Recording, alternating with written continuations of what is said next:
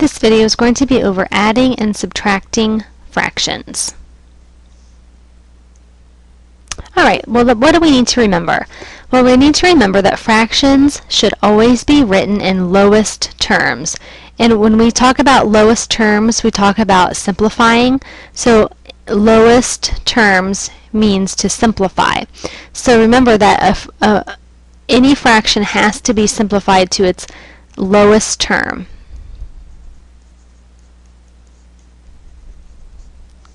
Alright, this means if you can divide the same number out of the top and the bottom, do it. That means if they have any common factors, you have to divide those out. So for instance, if we have the fraction 18 over 24, the factors of 18, um, 18 and 24 share some factors. So um, 1, 1 and 18, 1 times 18, those are factors, 1 and 18, 2 and 9, 6 and 3. In 24, we have 1, 24, 2, 12, um, 6, and 4. So as you can see here, 6 are the common factors, and 6 is the greatest common factor. So we can divide that out. So if you divide 6 by both numbers, 18 divided by 6 is 3, and 24 divided by 6 is 4. So that means that 18 over 24 is the same as 3 fourths, and 3 fourths is the simplified fraction of 18 over 24. So remember that all fractions need to be simplified um, as far as far as they can go. Now your calculator can do that for you, so make sure that you understand on your calculator how to do that. If you don't understand how to do that, you need to make sure you contact your teacher. Um, but on the new red OGT calculator, if you just type in your fraction 18 and then A, B slash C, 24 equals, it should simplify that down to the lowest term. Now when you add fractions, the most important thing to remember when adding fractions is they must have common denominators. And common, denom common denominators means they have to have the same denominator.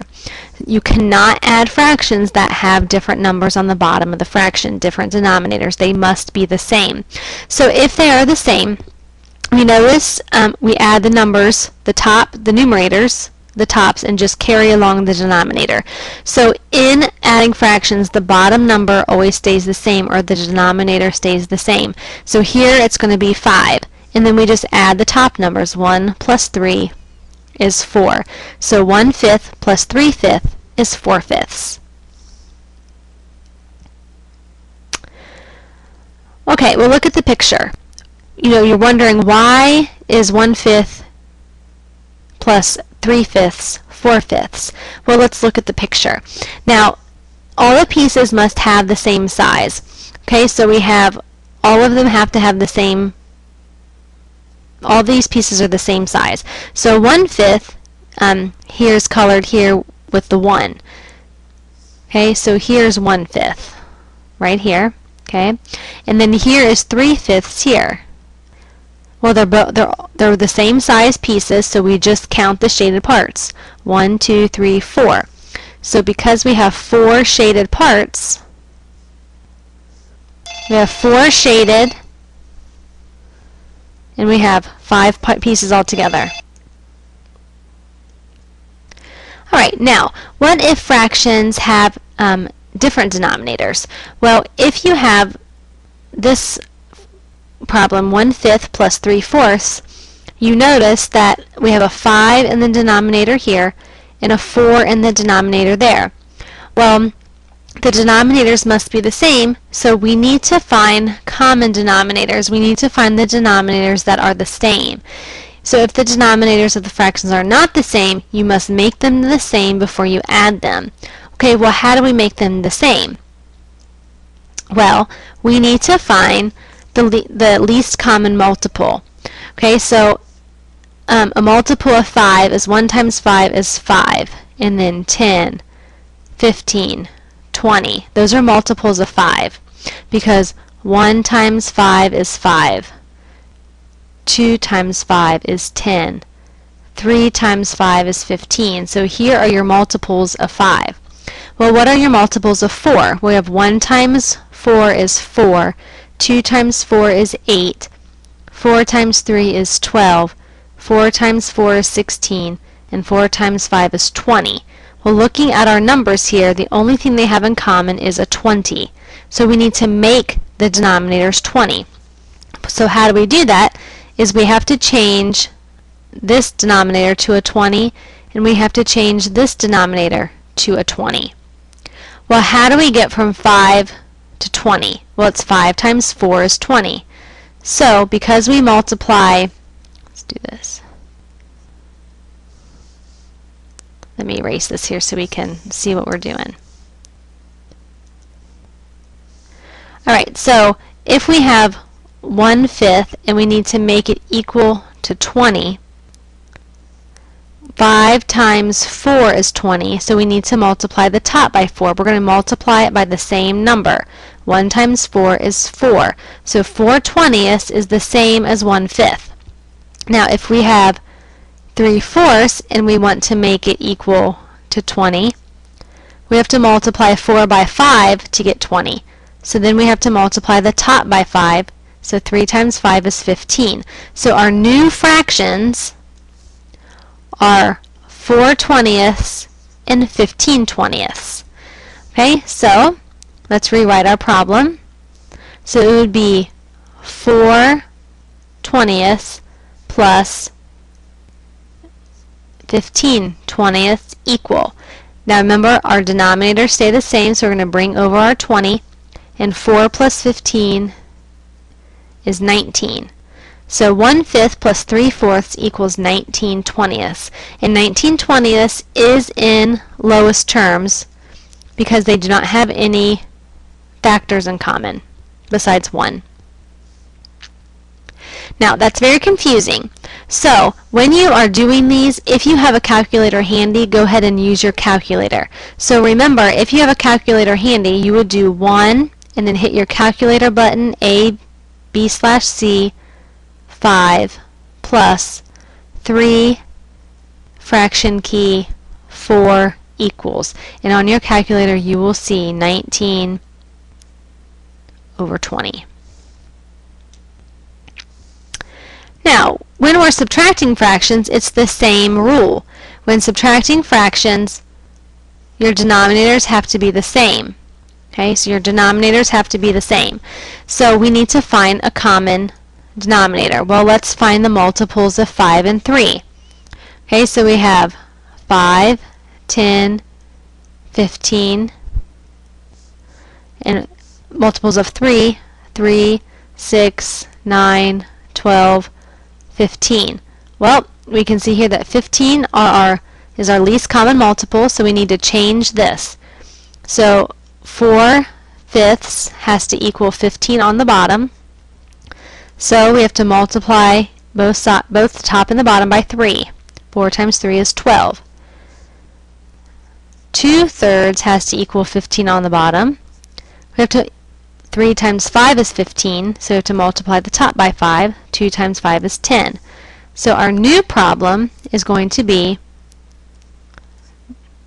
12 fifteenths take away 10 fifteenths. Remember, our denominator stays the same. 12 minus 10 is 2. That is in lowest terms because the only factors they have in common are 1. Alright, now, when adding um, whole numbers. Well, when adding and subtracting fractions and whole numbers, you must change the whole number to a fraction by putting it over 1. So we need to do this. So it needs to be 5 over 1, take away 3 fourths. Well, these denominators are not the same. So this is a 1 and this is a 4. So we need to find the common denominator.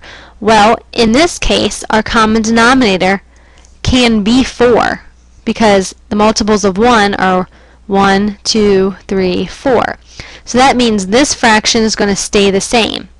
And we only have to change the 5 over 1. So to change 5 over 1 to equal 4 on the bottom, we have to multiply this by 4. So it's 20 over 4. So our new problem, okay, would be 20 over 4 take away 3 fourths. So 4 on the bottom, 20 take away 3 is 17.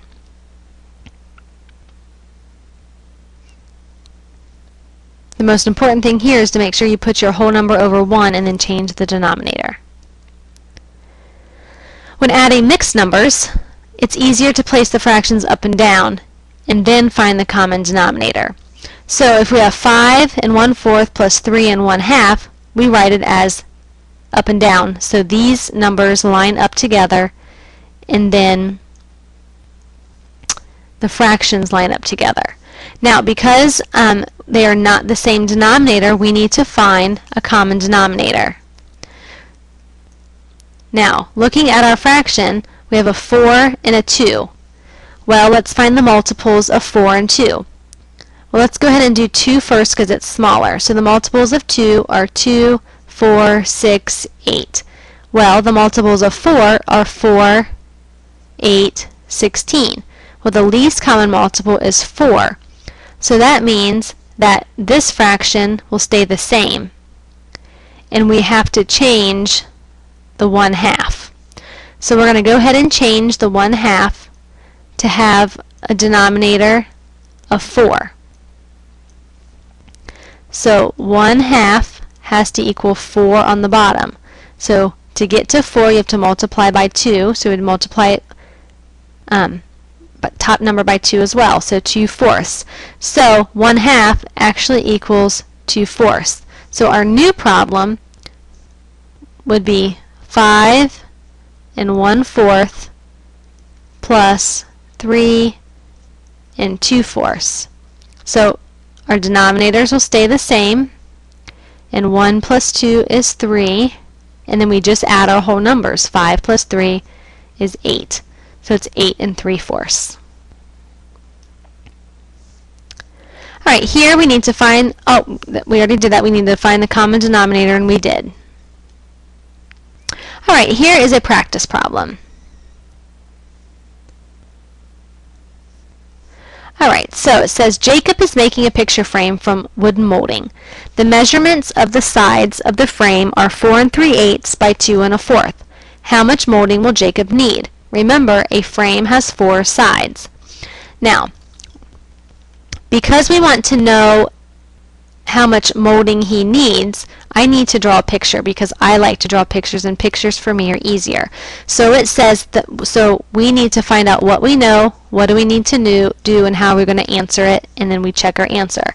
So what do we know? Well, we know that the frame is 4 and 3 eighths by 2 and a fourth.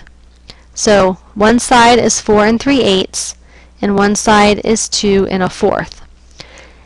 It says that he wants to make wooden molding around the outside of the picture frame. So that means that this side is also 2 and a fourth, and this side is 3 and 4 and 3 eighths.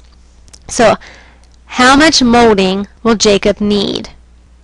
So are we going to find the area, what's inside, or are we going to find the perimeter, what's uh, around the outside?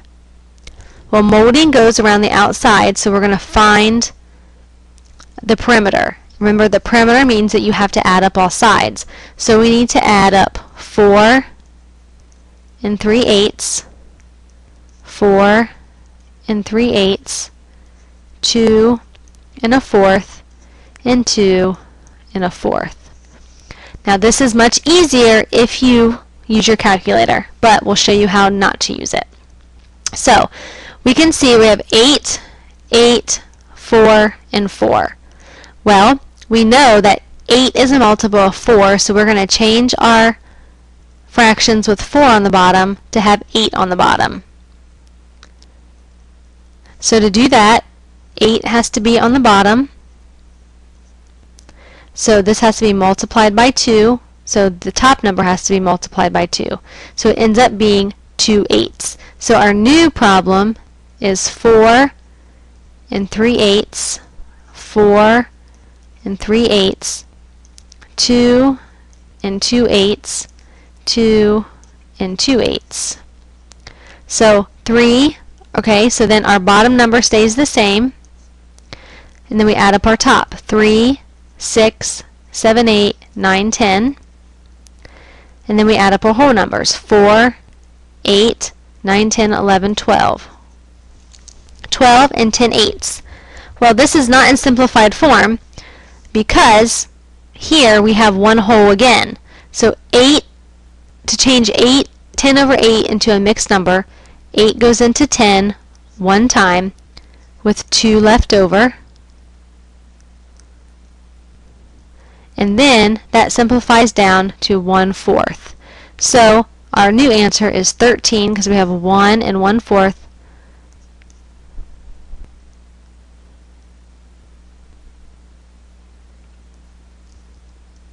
13 and 1 fourth. And you can check that on your calculator. Practice problem 2. Rebecca has 2 cups of milk.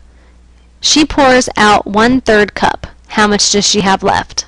Well, what do we know? We know that she pours out, so that means we're going to subtract. So that means we're going to subtract 2 minus 1 third. Well, we already know that we need to put this over 1, so that means that we need to find a common denominator. Well, we know that 3 can be the common denominator because a multiple of 1 is 3. So that means that 2 over 1 has to equal something over 3. So we have to multiply that by 3, so 6 over 3. So 6 over 3 take away 1 third equals the 3 carries over. 6 minus 1 is 5. So she has 5 over 3 left, which you can't, um, we have to change this into a mixed number. So 3 goes into 5 one time with 2 left over. So she has 1 and 2 thirds cup left over.